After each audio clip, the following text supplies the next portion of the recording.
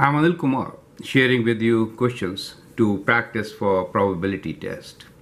The question here is the probability that a student likes math is 0.7 and the probability that a student likes English is 0.2. If only 1 in 10 students like both math and English, what is the probability that a student chosen at random does not like math or English? You can pause the video, answer the question, and then look into my suggestions.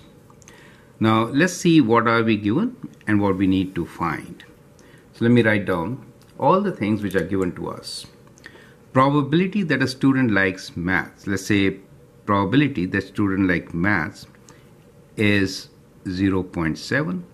Probability that student likes English is 0.2 and if only 1 in 10 1 out of 10 likes both math and English let me write P both is 1 out of 10 that is 0.1 what is the probability that a student chosen at random does not like math or English? That means uh, does not like let me say M prime or means union English right? This is what we need to find. That's the question. I hope the things are very clear. You can pause and still answer the question.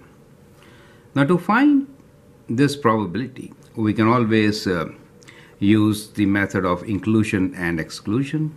Probability that a student does not like both will be equal to sum of those who don't like maths plus probability for those who do not like English. Take away when we count them together twice right? So we have to take away once. That is both reciprocal. That is what it is. Correct?